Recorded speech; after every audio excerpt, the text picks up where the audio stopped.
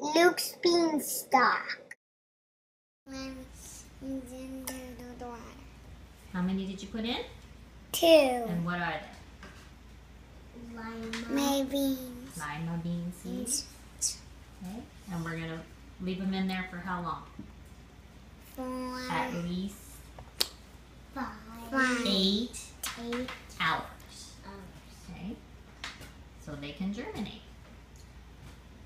Into a beanstalk.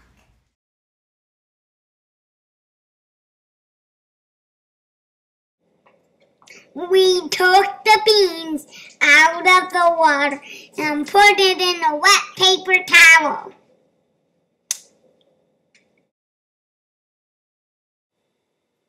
We put the beans in a wet paper towel and put it in a bag. We checked the beans to see if any sprouted. And one did.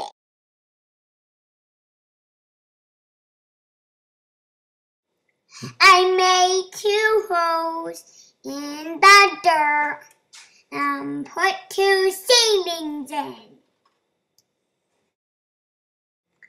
We covered the pot in plastic wrap to increase humidity and help them grow. I took the plastic off and saw a little leaf growing out. I saw lots of little lines on the leaf and saw a stem growing out of the dirt. Two leaves grew out with a little leaf bud in the middle.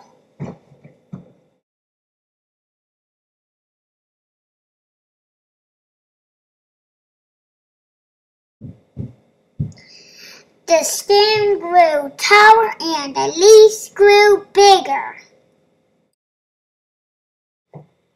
I see three small leaves and one leaf bud at the top. The next day, the stem grew very tall. Now my beanstalk has six leaves.